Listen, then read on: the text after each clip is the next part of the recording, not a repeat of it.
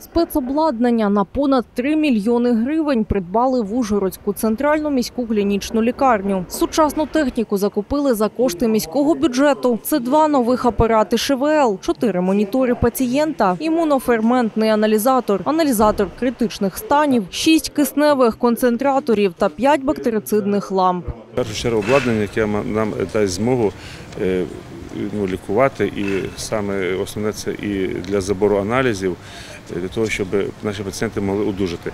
І сьогодні ми отримали е, перші два е, значить, апарати штучної вентиляції легенів загальною вартістю 2 мільйони 200 гривень.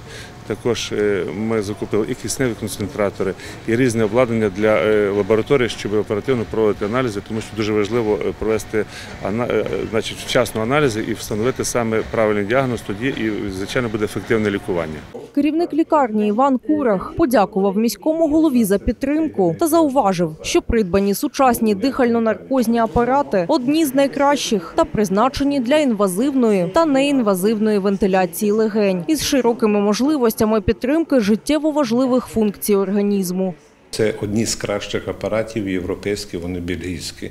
Вони дуже прекрасні е, в роботі, в розчоті вони повністю відповідають за хворого, і тим більше, що вони не залежні ні від яких умов. Вони мають кисневі концентратори і все допомагає. Тобто ми можемо спокійно підключати любого хворого.